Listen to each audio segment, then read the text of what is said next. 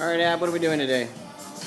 Today we are doing an interview with Greg Gorman, and we're discussing how he uses X-Rite, how he builds color profiles. Basically, we're, we're, we're, we're finding out his color management workflow from capture to print. And so here we are, we're in uh, Greg Gorman's studio. And over here, this is Tyson. He's rigging up a 2K for us.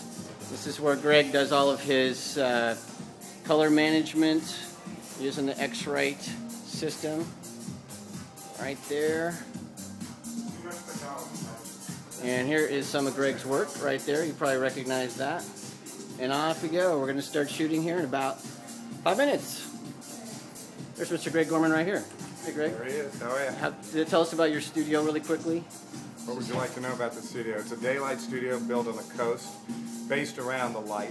I spent a year designing the studio in terms of having a model built before I actually built this building next to adjacent to my home to see exactly where the solstice was going in the winter solstice and the summer solstice so that when I basically placed the building on the property, I would be able to maximize the natural light. Perfect. And the most important thing is right right back here. It's the wine. It's the wine. Well, that's on the other side of the glass That's right. right. where the real wine is.